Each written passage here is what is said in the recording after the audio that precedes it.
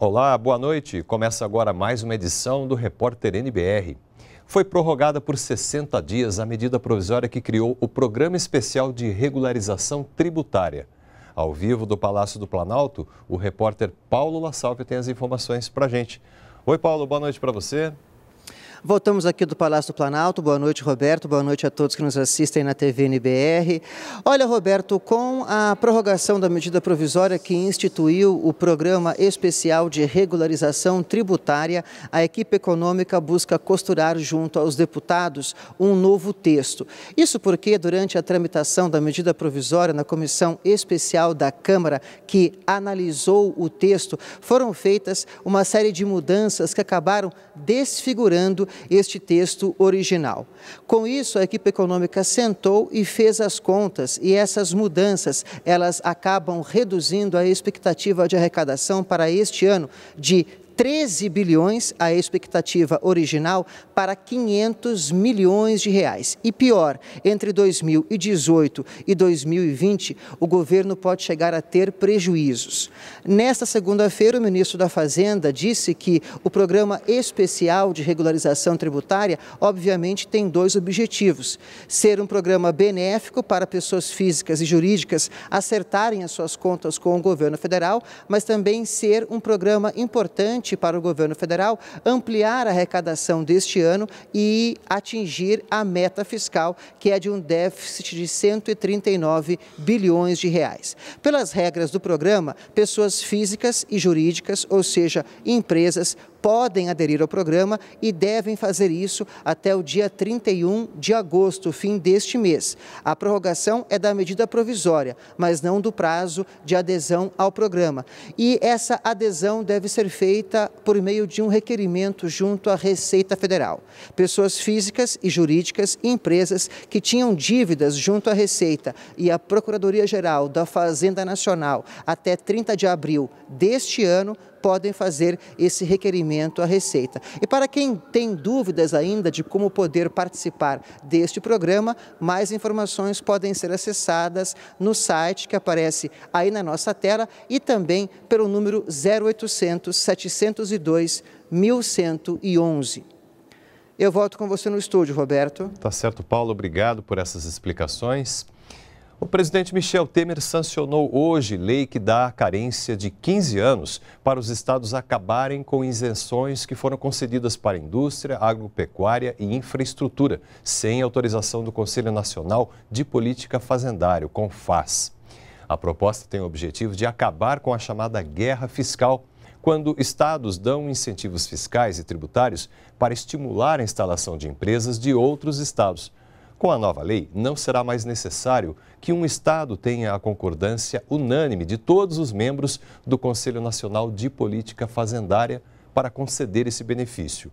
A partir de agora, será necessária a anuência de dois terços dos estados.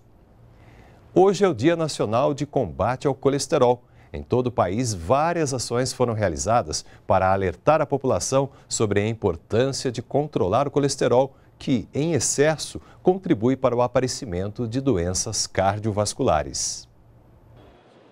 Quem veio a este shopping de Brasília nesta terça-feira pôde fazer de graça um exame que mede o nível de colesterol no sangue.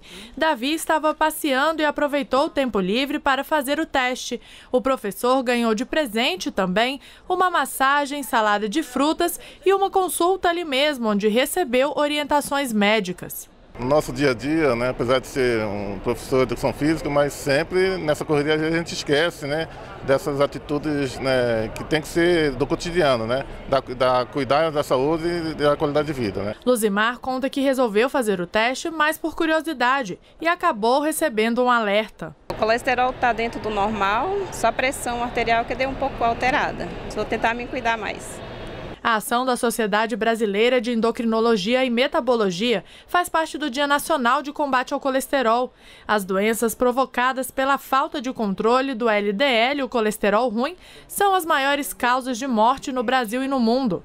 No Brasil, 350 mil pessoas morrem todos os anos vítimas de doenças cardiovasculares. O colesterol é uma gordura que a gente tem circulando no sangue da gente.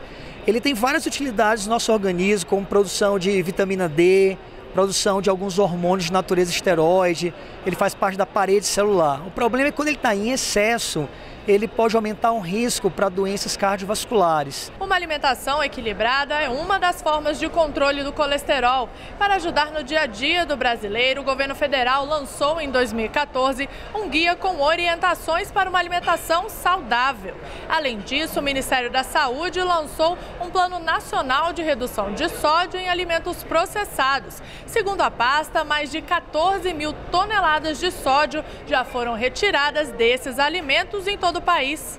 O governo pretende ainda assinar um acordo com a indústria para reduzir a quantidade de açúcar em alimentos processados, como ocorreu com o sódio. Essas medidas fazem parte do plano de ações estratégicas para o enfrentamento das doenças crônicas não transmissíveis. Nós sabemos que a população brasileira já enfrenta um grande problema com relação à hipertensão, diabetes, obesidade e por aí vai, das doenças crônicas. Então, é muito importante também é que tenha um eixo que existe no próprio plano de enfrentamento, que é o eixo de tratamento, porque o SUS precisa oferecer também tratamento, e isso inclui a própria questão do atendimento em todos os níveis de atenção, começando no posto, no posto de saúde, com a equipe de atenção básica, mas aí subindo nos níveis de atenção, inclusive trazendo outras ações, que é a própria questão de dispensação de medicamentos, que tem a a questão dos programas que é, dispensam os medicamentos para diabetes, para hipertensão. E já está no ar o site da Rede Nacional de Rádio, um novo produto aqui da empresa Brasil de Comunicação.